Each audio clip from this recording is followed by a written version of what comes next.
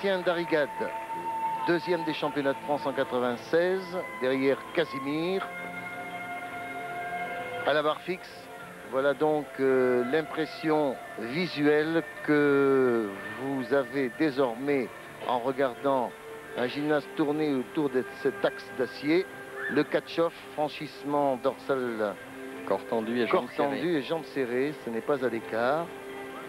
Et vous avez vu ce que pouvait ressentir un gymnaste avec euh, cette image insolite que nous avons proposée il y a quelques instants.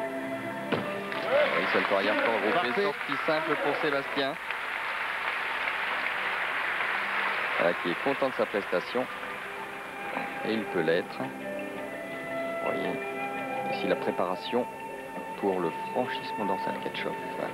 Et vous avez vu quel fouetté il faut donner au corps pour pouvoir euh, remonter ensuite et préparer son lâcher. Et voici la saisie grâce à la loupe. C'est Manic qui